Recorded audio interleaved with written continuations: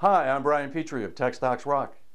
With the new year comes another example of our politicians not giving the free market an opportunity to choose.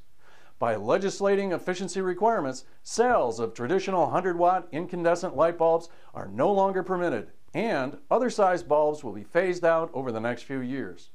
Now we're about to see expansive growth in alternative lighting methods, which may create a big opportunity for LED leader Cree.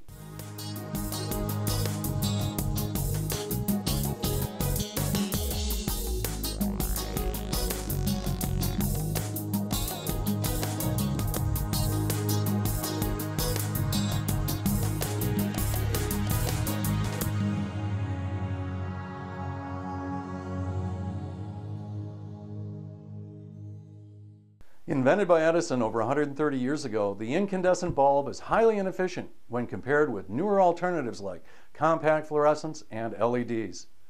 Fluorescents use much less energy and last longer than incandescent bulbs. They're a temporary solution, however, because they're somewhat expensive, they introduce safety concerns due to toxic materials like mercury, and they don't provide the type of lighting we like. LEDs have evolved rapidly over the past decade. First generation LED lights had a narrow and focused beam. Today's newer models are being clustered and mounted with diffuser lenses to spread the light across a wider area. Now, LEDs offer lighting for most fixtures and applications, providing either cool or warm light in both dimmable and non-dimmable varieties. LEDs can last around 50,000 hours, several times longer than even fluorescents, and they cost less to use.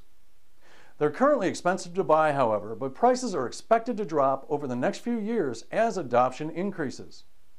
Cree is one of the leaders in LED lighting, gaining around 9% of the global market on the strength of its technology and large patent portfolio. It's well positioned to capture the Chinese market where incandescent bulbs are also being phased out. Cree is expected to release its earnings next week. Speculation is it'll announce around a 20% increase in revenue but a small decline in earnings per share due to increased R&D and acquisition-related expenses. The 52-week high for the company stock was $69, and it's currently hovering around 23. Given the legislated changes in the worldwide lighting market, LED manufacturers are looking at a great opportunity in the next few years. Cree is certainly a stock worth watching as a long-term investment.